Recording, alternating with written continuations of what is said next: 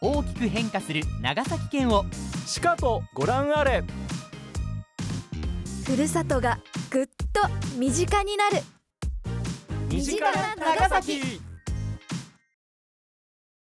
皆さん共生社会って聞いたことありますか？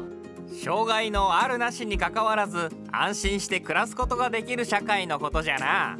そして毎年12月3日から9日は障害者週間ですねいい機会だから共生社会の実現のために県がどんな取り組みを行っているのか誰か調べてきてくれないかい？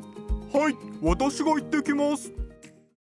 まずは県の担当者にお話を伺います。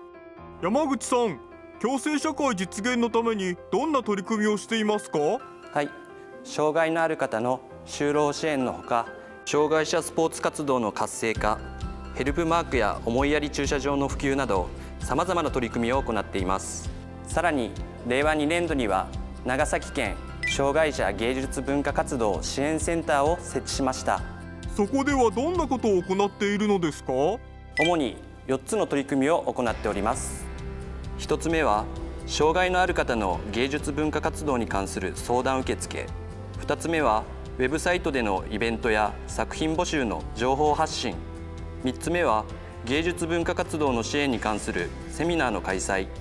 4つ目はウェブサイトと SNS での絵画や書道などの作品紹介です。センターの支援により長与町主催のイベントポスターに障害者アートが使用されたこともあるんですよ。もうすけさん長崎県障害者芸術祭をご存知ですか？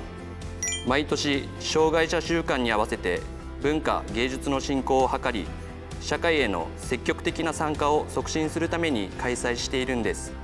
今年も芸術祭に向けて練習に取り組まれていますのでぜひ訪ねてみてください。早速行ってきます。南島原市の深井公民館にやってきました。皆さん一生懸命練習していますね。亀子さん今年の芸術祭はどんな内容ですか？障害のある人とない人が一緒に作り上げる合唱オーケストラや車椅子ダンスなどを披露します。またロビーでは絵画等の作品展示も行います。今日は合唱の練習をしていますよ。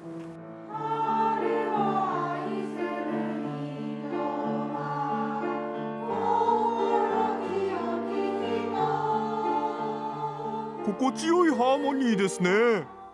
高い声を出すのがちょっと難しいですが皆さんと一緒に、えーと、歌えることがう嬉しいです。練習がとても楽しいです。見どころ教えてください。まだ今各グループで別々に練習しているので当日一緒に歌った時にどんな響きが生まれるかなっていうのが楽しみです